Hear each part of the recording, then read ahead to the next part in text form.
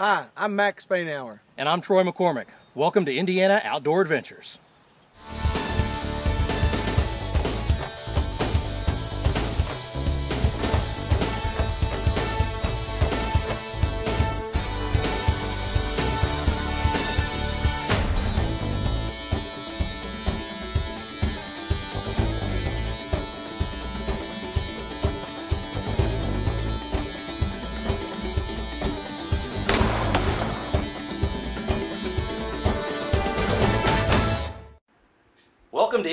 Outdoor Adventures. I'm Troy McCormick, and today we're in Parke County, Indiana, at the Old Goat Trading Post.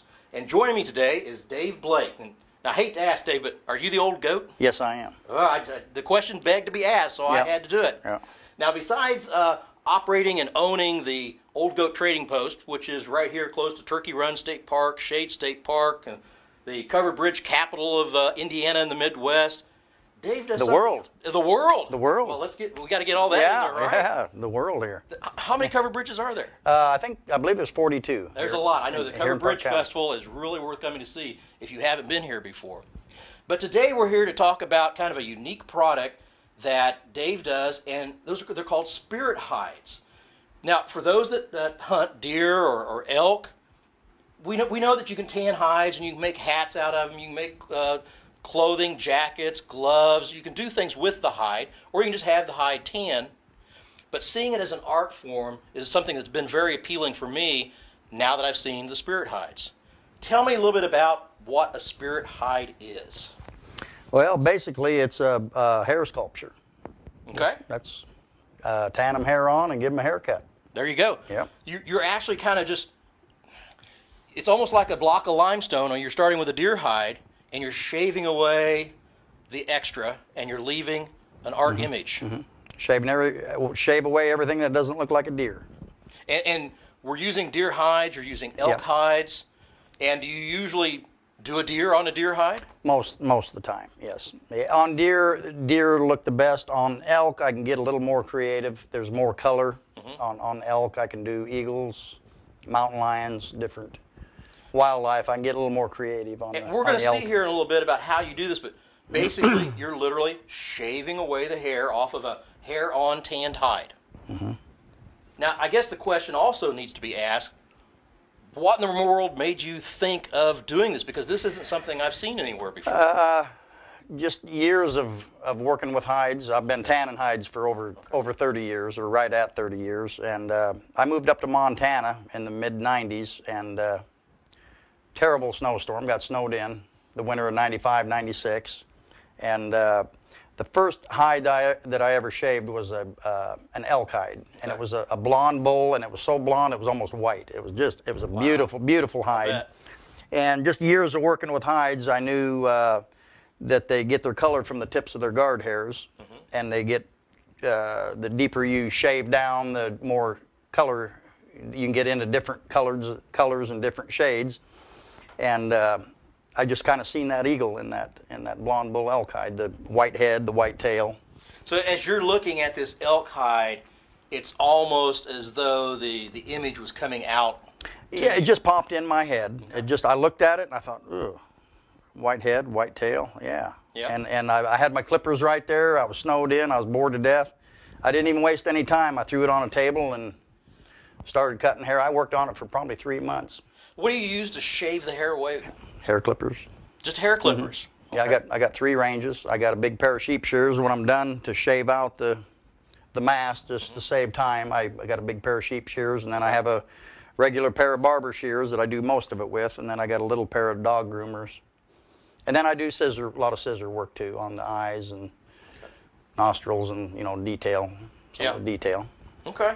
Now, there, there's something just, you know, it- it's very attractive about the deer hide itself, and you leave this kind of natural edging uh, from, the, from the tanning process. But if you've never really looked closely at a deer hide, it, it has a lot of different colors in it. Uh, you've got the white uh, uh, belly hairs and, and around the tail and, and the neck, and, and yet we've got different shades of brown. But tell me how you get some of the shading uh, out of this because you don't just chop it all up. I mean, there are places where we take it all the way down to the hide, but then you also get this shading and dimensional effect out of this. Tell me how you do that. You just uh, take your clippers and just skim down. Just knock your guard hair tips down, and then you can go take it a step further. You can layer down till, uh, and actually on the deer, the deeper you go, the lighter the the lighter the hair gets. Now, if I shave out some of these gray hairs, they're Oh yeah, get blonder? oh yeah, Oh, yeah. I could do I could do an, an eagle right on. Actually, be a bald eagle, Yeah, by the way. oh, that was good. That was good. okay, I set myself up for that. one.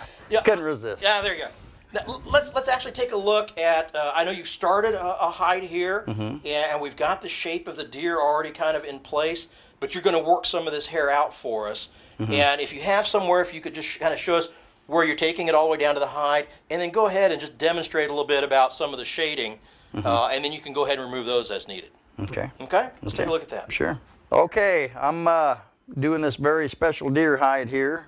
Uh, I'm doing a whitetail buck. Uh, you know, usually right before you see their flag go off through the woods, they usually turn around and look at you. And that's what this buck is doing. Anyway, I'm just started to detail it. I've got the, the tail in, oh, a little, a little cut here and there to show his hindquarters. Now here on his back leg, you you shave down to get into the lighter color to make that back leg look like it's back. Here's the front leg, the back leg's back behind. Uh, a little bit of a little bit of uh, how this works. You got the natural color of the hide. You can knock your guard hair tips down and get a shade darker.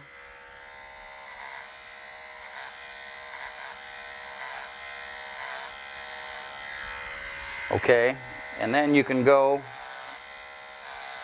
deeper yet and get a shade lighter.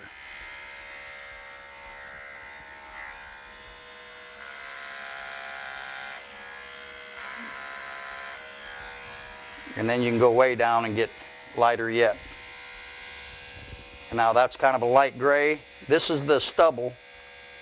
This is with it shaved all the way off, all the way down.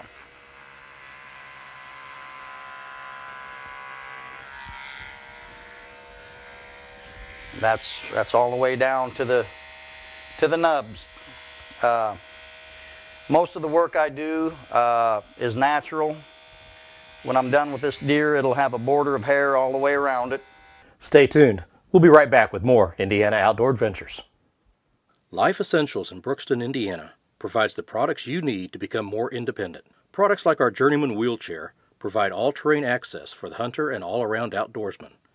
Every year, thousands of people are born with or acquire disabilities. Whether your special needs are for residential, commercial, agricultural, or just enjoying the outdoors once again, we customize our lifts and mobility products to fit your needs. We're raising you to new heights. Call today and we'll work with you to take back your life. The Old Goat Trading Post in Bloomingdale, Indiana offers not only traditional fur hides, hats, and mountain man like apparel, but beautifully crafted spirit hides. Artistically sculpted from elk, moose, deer, and buffalo hides, they are the perfect wall hanging for your home or vacation cabin. The shaved hair sculpture and original painted scenes combine to create a natural canvas and work of art. Visit www.oldgoattrading.com for more information. Sugar Camp Lodge offers some of Indiana's finest trophy deer and wild turkey hunting opportunities. We have 400 acres of woods, marshes, and farmland that provides amazing habitats to hunt.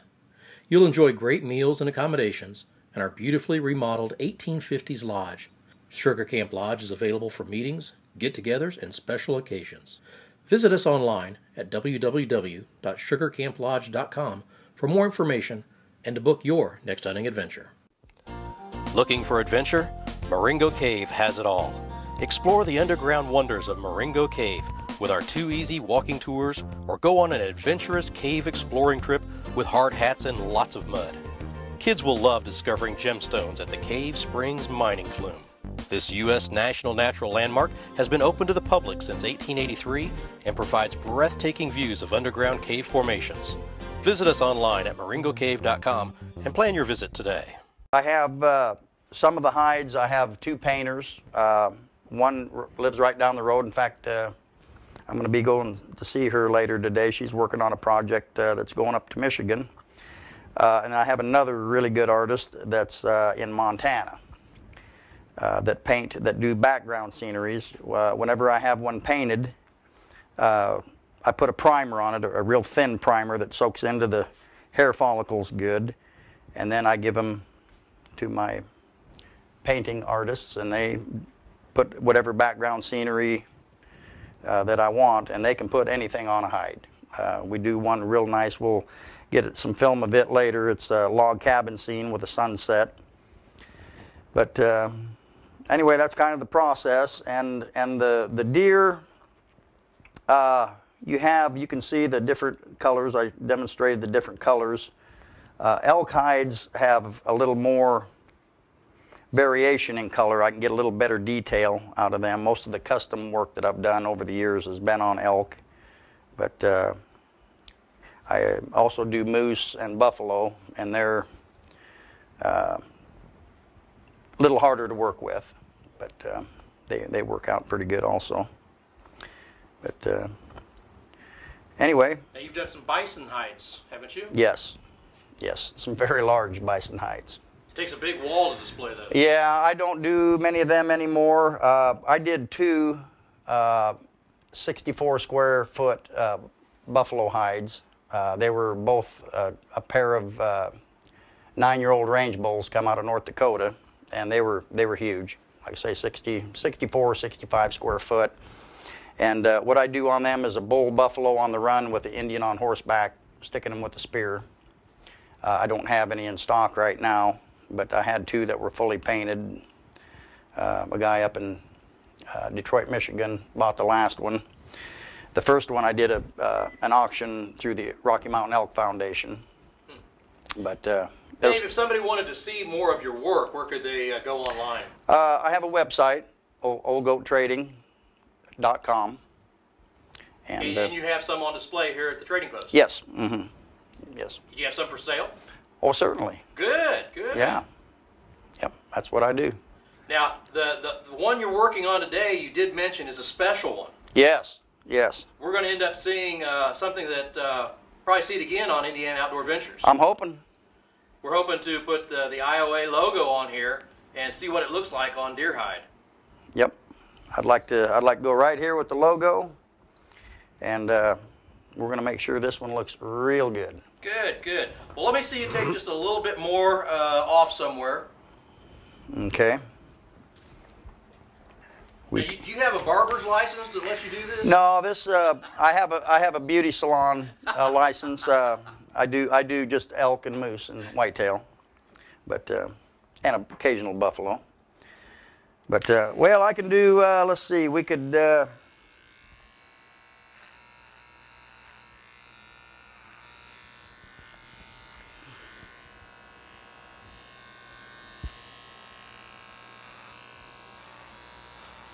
we cut that front shoulder in.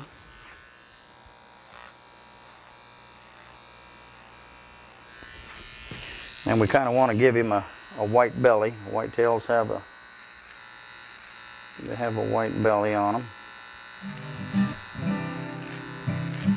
You want to lighten that.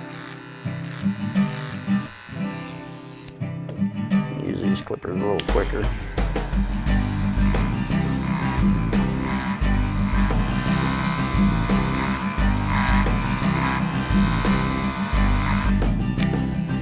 Okay, and then we'll put a little, we'll put a little, oh, kind of a front shoulder type deal on him, but some wrinkles in his neck because his, his head is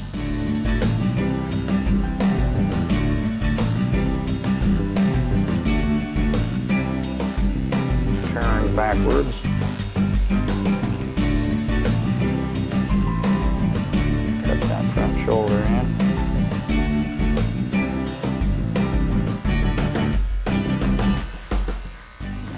Put a couple of wrinkles down.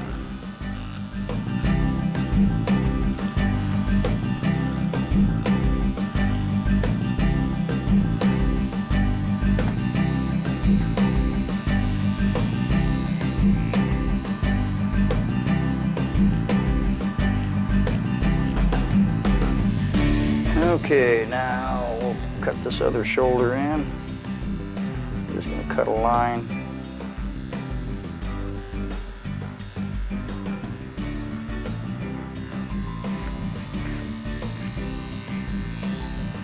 Just go right across here. Take that down to make that leg looks like it's behind the other one. Take that hair down a little bit.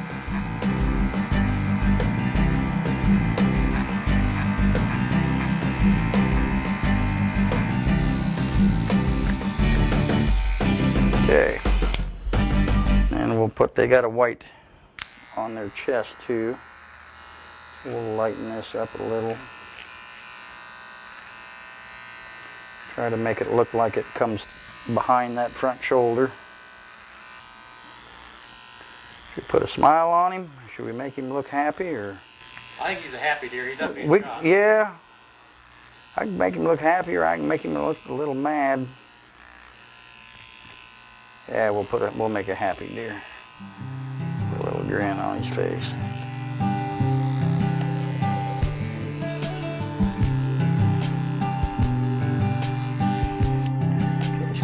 Second. I'm gonna have to reach around here.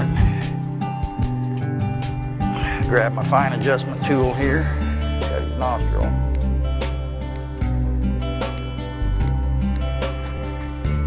Okay.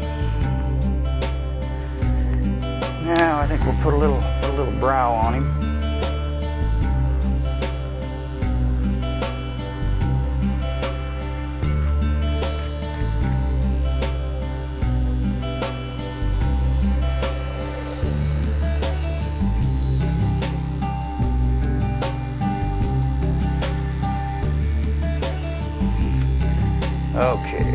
Now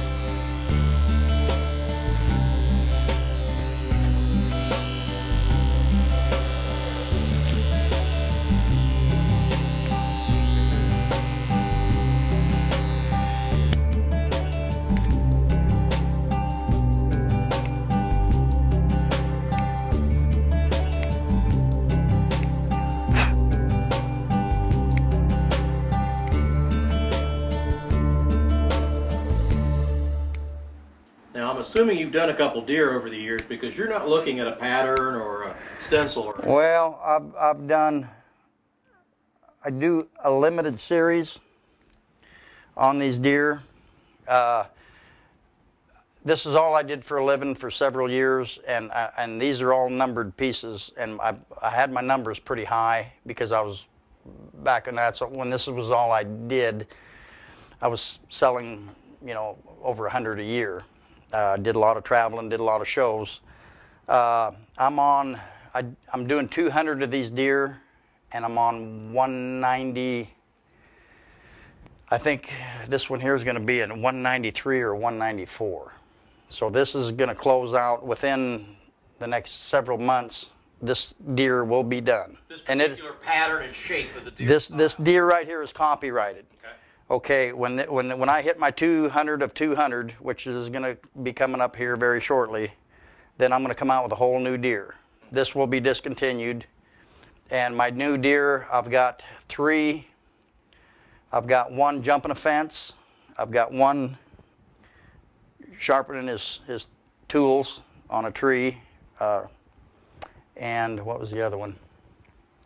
I've got three, and I think I'm going to do one of each and pick out the best one and probably keep the numbers at around maybe 40. Because I get tired of doing the same deer. I've done, you know, I've done 190 of these. I these. say you weren't really going very slow. You, Well, yeah. Yeah, I mean, I get I get faster at it, uh, but it gets boring. Sure. It does, and and I love doing custom work. Uh, And, and if somebody is interested in a custom logo, you can do that. Oh, sure, sure. Or I can shave if they've got a, a picture of their deer or a picture of a deer they want on a hide. I can put whatever they want on a hide. So if somebody brought you a photo of a big 10 or 12 pointer they shot, you'd be able to do that, their deer Yes. on a hide. yes. Wow, I'll tell you what, I just couldn't be happier uh, with this spirit hide. David just did a, a spectacular job. We've got this fantastic eight point buck, and standing behind it is the, the Bridgeton covered bridge and uh, Grist Mill right here in Parke County in Indiana. Uh, he just captured the whole essence of nature and wildlife, hunting, uh, uh, tourism in Indiana, the fall foliage, and of course, he put the uh, Indiana Outdoor Adventures logo right where he said he did, up there in the corner in the sky. Uh, it really looks nice up there. When you, when you look at the, the piece that he has created, you can understand why he calls it a spirit hide. He's taken something, uh, the hide of the deer, and sculpted the, the essence and spirit of that animal back into uh, an art form that we can look at and appreciate for many, many years. The uh, uh, bullet holes are even visible uh, in the uh, the hide. So we've we've got the remembrance of the hunt. We've got the uh, exciting memories of, of the animal itself and the beauty of the, the covered bridge, or maybe you wanted to go with uh, one of his uh, log cabin scenes, or you want to try a custom logo. Regardless, Dave, you did an outstanding job. This is something that we'll be able to share with people here in the office, uh, point to and say, you know, what is that? And we can tell them all about what a spirit hide is. Thanks a lot to the, uh, the uh, Old Goat Trading Post and to David for uh, all of his hard work on this one. After serving our country, serious injury shouldn't prevent our veterans from enjoying life. Paralyzed Veterans of America works with veterans to ensure that their health care and benefit needs are met, provides assistance with career needs, and offers challenging and rewarding activities. The Kentucky and Indiana chapter of PVA is proud to provide adaptive sports for members that includes hunting, fishing, trap and skeet shooting, bowling, and billiards. Visit us online to learn more about Paralyzed Veterans of America. Lawrence County is an unexpected destination found in the heart of southern Indiana rolling hills, offering recreational landscapes, a rich limestone heritage, and unique outdoor experiences. This area is limestone country, well known for limestone quarries and stone carving heritage. It's also the home of Spring Mill State Park, geocaches, the scenic East Fork of the White River, and underground caverns. Plan your adventure at limestonecountry.com or call 800 798 0769. Cave Country Canoes, located in the heart of Indiana's cave country, offers a variety of canoe rental trips from half day outings for beginners to two day adventures for the more experienced enthusiast. Our canoe trips follow the gently meandering Blue River through the wooded hills of southern Indiana. Abundant wildlife and great fishing opportunities abound. Go to cavecountrycanoes.com for more information about our canoe and kayak trips. Your next adventure is just a paddle away. Follow Indiana Outdoor Adventures online with Facebook, Twitter, and our website. Stay up to date with our exciting adventures as we're out in the field filming and meeting new people. From news updates and announcements to Twitter posts by co host Troy McCormick. Why wait until the next season of shows when you can follow us as we're filming them? Join us online to get the most current news on Indiana Outdoor Adventures. I know that you work a lot with tanning hides. Just tell me a little bit about the tanning process and, and what you have to go through from the time you flush it until you end up with a tan hide. Okay. Well, they're flushed, Then they're, they have to be washed. You got to get them get them clean. Uh, then they go in a pickle solution, which is uh, salt water and sulfuric acid. Is Kind of a preservative type mixture. Okay. That, that kind of pickles pickles your hide. Uh, it soaks in that for about two days. Of course, you have to stir them usually three times a day. Uh, there is a little acid in that pickle, and it's heavier than water. Ah, If you don't stir them, the acid will settle, settle out, and it'll burn your hides on the bottom. Okay. So it's got to be uh, stirred. It's a little labor intensive, and you've got, to spend some time. Sure, Okay. sure. And uh, then when they come out, then they have to be washed again to get the salt water out of them. And uh, I wash in a sodium bicarb solution, which kills 100% of the acid. There's no acid in them at all. Okay. Uh, then they're stretched. Now, you can see back here, these coyotes Mm-hmm. are stretched and oiled, but the, the elk and the deer hides are all nailed out. You see all these nails and all these holes on all these walls. Uh, when I'm rolling in the wintertime, there'll be hides all over these walls. Okay. So they're they're stretched and then they're oiled with uh, neat's foot oil. And that's when they're drying. They're when they're drying. Okay. Yeah, you put the oil. I put about four coats of oil on them Hmm. as they dry. You want the you don't want them to dry too fast. As the moisture dries out of the hide, you want the oils replacing it Okay. as it happens. So that helps keep them from getting brittle and cracking. yeah, yeah, yeah. Okay. If you if you don't do that, they'll be so dry and hard that you Wow. won't be able to. Uh, There, there no Now, and- and pliability. to you may have seen hides stretched out on a frame with a, a kind of a lattice work almost of uh, hide or string where they stretch them. where they stretched them. You're nailing them to the wall to do the same thing. Yes. Okay. mhm, Yeah. Okay. Yeah. A lot quicker. Yes. Uh, so they come off the wall, they're dry. Then what happens to them? Okay, then once they're dry with the with the oil in them, then you got a hide full of oil. Then they go in on a beam, and they're worked with a big Sheffield draw knife uh, over a beam, and the fibers are broke down. So that, then, ta- that takes them from a stiff hide to more of a supple hide that's Right. soft. Okay. right, you just work them. You work them with a with a big draw knife over a beam. Well, then you ha- then you end up with a hide full of oil. Okay. So you have to get the oil out of the hide, and then you, you about have to have a tumbler. Uh-huh. And I tumble. Uh, a lot of people use corn cob, crushed corn cob. I just use sawdust. Hmm. It works for me. and that draws that. Yep, they just tumble, and, it, and the, the sawdust pulls the oils out, and it takes the oils out, Okay. and it and it helps loosen them up a little bit too. And you've got a large tumbler. Yes. Dryer. Mm-hmm. Okay. So when they come out, I mean, are they ready then to? Well, then they come out of there. They're not full of oil anymore, but they're full of sawdust. Ah, sure. So then they go into a cage tumbler, which is right next door to my regular tumbler, and uh, I just spin them in that for about 30 minutes, and that just uh, it's a, like a cage.